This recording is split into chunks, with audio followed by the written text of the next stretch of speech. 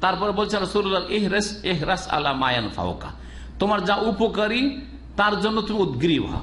যেটা তোমার কাজে আসবে, লাভ আছে, ওই কাজ করো। ফালতু এমন কথা বলছো, এমন মন্তব্য করছ, এমন কাজ করছ তাতে কোনো লাভ নেই। যেমন আমি যদি আমার আত্মসমালোচনা করি, আর আমার যদি ভুলগুলো ধরার চেষ্টা করি, তা আমার লাভ হবে না হবে না? হবে না হবে না?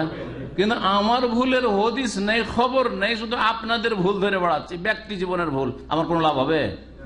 আপনাদের জন্য সংশোধন যদি উদ্দেশ্য থাকে, তাহলে দেখব যে কোন কোন ভুলটা আপনাকে পার্সোনাল সংশোধন করতে হবে, সেটা পার্সোনাল যথেষ্ট। আর কোন কোন ভুলের কারণে আপনি একজন ভুল করার কারণে এতগুলি লোকের ক্ষতি করে দিচ্ছেন, তখন বাকি লোকগুলিকে জানাইতে হবে। শরীয়তের বিধানটা ভালো করে আপনাকে জানতে হবে। কিন্তু যদি পরের শুধু দোষ চর্চা করা শুরু করি, আরে দেখো দেখো, অমুক দেশে কি হয়েছে, দেখো দেখো।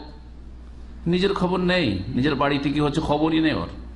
নিজের জীবনে পাপে ডুবে আছে, ফেসবুকের পাপে, ইউটিউবের পাপে ডুবে আছে, বুলু ফিল্ম দেখছে, খবর নেই। আরে অমুক দেশে কি হলো জানো?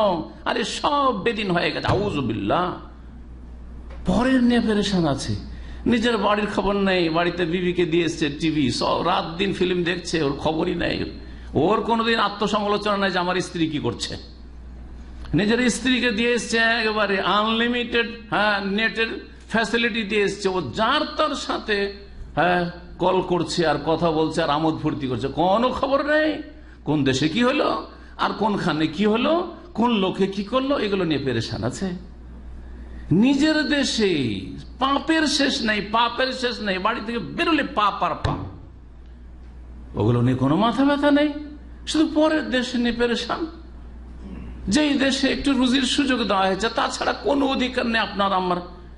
তাই নিয়ে পেরেশান হয়ে রয়েছেন। তাই নিয়ে রাত দিন শুধু আলোচনা আর সমালোচনা আর তিরস্কার করা ভর্সনা করা আর কিচ্ছু নেই।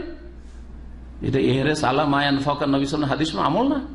তোমার জন্য যেটা উপকারী, তার জন্য তুমি আগ্রহী হও, উদ্গ্রীব হও, সেটার জন্য সচেষ্ট হও। ওয়াস্তাইন বিল্লাহ, এবং আল্লাহর কাছে সাহায্য চাও। আল্লাহর কাছে সাহায্য চাও। আমার এটা কাজে আসবে, সুতরাং আল্লাহর কাছে সাহায্য চাই বিসমিল্লা বলে কাজ